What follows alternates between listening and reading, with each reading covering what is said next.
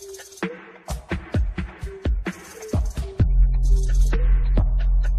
नाजरीन अस्सलाम वालेकुम मेरा नाम है इमरान नकवी और आप देख रहे हैं P T N dot com ये जो ज़मीन जिसपे इंसान रहते हैं, इस ज़मीन पर हज़रत आदम की हिलकत से लाखों साल पहले जिन्नात और सैकड़ों मखलूक़ात साथ रहती थी। अल्लाह के वली हज़रत शाह शम्स तब्रेज़ से पूछा गया कि, आप कहते हैं कि बिल्ली का रोना इंसान के लिए बेहतर नहीं होता तो ऐसा क्यों? तो शाह शम्स तब्रेज़ ने फरमाया हिलकत आदम से लाखों साल पहले जब ज़मीन पर जिन्नात रहते थे, कुछ मखलूक से जिन्नात नफ़रत करते थे और कुछ से प्यार करते थे।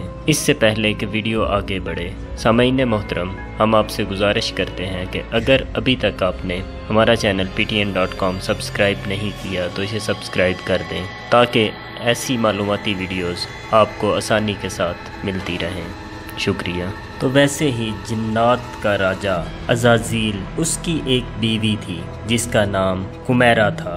वो बिल्लियों से प्यार करती थी और उसके आसपास बिल्लियाँ हुआ करती थीं।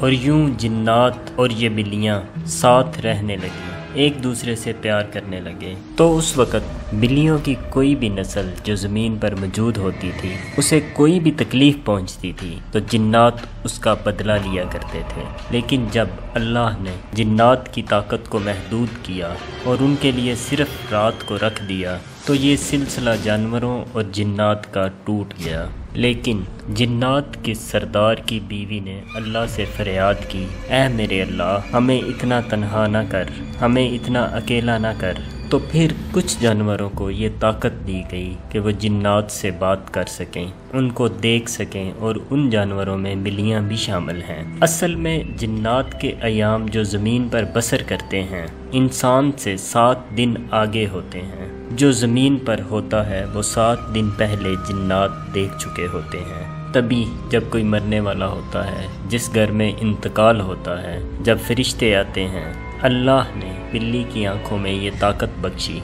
कि वो जिन्नात को देख सके और फरिश्ता मौत को देख सके तो वो दर्द वाली आवाज़ में रोने लगती है और बताने लगती है कि ए इंसान, ये ज़िंदगी जिसको तू हमेशा समझता है, जैसे ये आज मरने वाला है, वैसे सब मर जाएँगे। अपने अमाल बेहतर करो। तो लोगों ने कहा ए अल्लाह के वली, अगर हमारे घर या आसपास कोई बिल्ली रोए तो फिर हम क्या करें? शाह शम्स तब्रेज़ ने कहा, तुम हसब तौफीक सदका निकाला करो और सताईस मरतबा चारों कुल का विरद करके अपने अल्लाह से दुआ मांगा करो। अल्लाह हर परेशानी से तुम्हें महफूज रखेगा। और अगर तुम किसी बड़े सफ़र पे जा रहे हो और अचानक बिल्ली सीधी तरफ़ से उल्टी तरफ़ चली जाए और मुड़ के तुम्हारे चेहरे में देखे तो समझ जाना तो ये अल्लाह की मखलूक तुम्हें इशारा दे रही है कि तुम्हारी तरफ़ कोई खतरा है। उस वक़्त सदका दिया करो और फ़ौर सताईस मरतबा चार कुल पढ़कर